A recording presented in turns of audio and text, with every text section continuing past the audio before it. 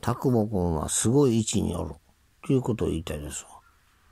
それでね、ちょっとね、西野キングコングのあの集客法とかね、あの人のやっぱ人生、生きてきた人生がいろいろあるから、あの人集客うまいんですわ。過去の人生見てみる。生まれはどことかね。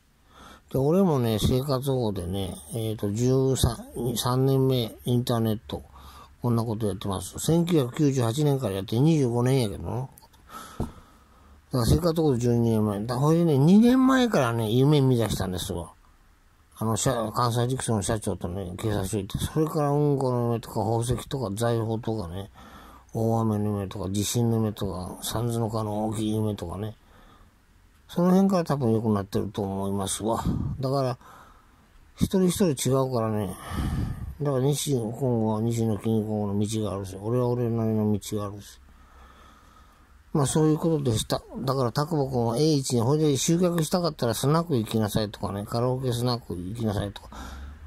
あの、何やったかな、西野キングコングに言わせると YouTube やってみたけど。そっか、西野キングコング見てへんか。集客法。そういうことわかるでしょピンとくるでしょあとはした。あ、そうそう、スナック行きなさいとか、手渡しとかね。えー、まあそんな感じ。折り込みチラシとかそういうの、今日だいぶ広かった。だからちょっとね、一人一人違うんです。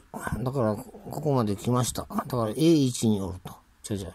まあ、題名考える以上。